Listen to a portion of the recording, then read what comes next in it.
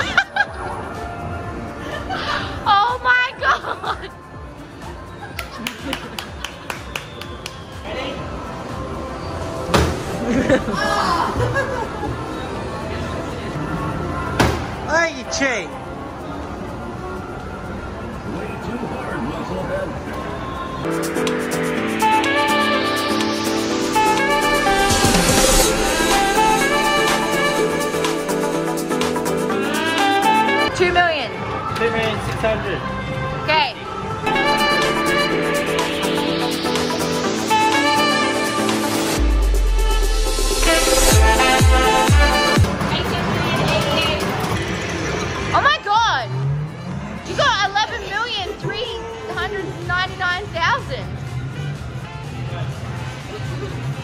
Bitch, you just beat him. You didn't beat me. I'm still the pinball queen. I am still the pinball queen. Yeah, so the final tally for tickets was 449. Some life that Curtis. Ah, I got 300 and something. I think it was 341. Fucking Games Master, I lost, which is so disappointing for me. Safe to say that he is the Games Master. I'll, I'll let him have it. Like I said, I was gonna win. I'll let him have it. I actually kicked his ass on pinball though. I won every other game. Oh yes. Alright guys, this is gonna be the end of this week's video. I gotta go. I'm so sick and I got teaching and training and I'm just like I've had enough. So thank you guys so much for watching. If you like this week's video, make sure you guys give it a really big thumbs up. I mean, if you haven't already, subscribed to the channel. So pull the page down and hit the red subscribe button or wait until the end and you can click on my face. Make sure you share these videos with your friends and family and tune in every Thursday at 6 p.m.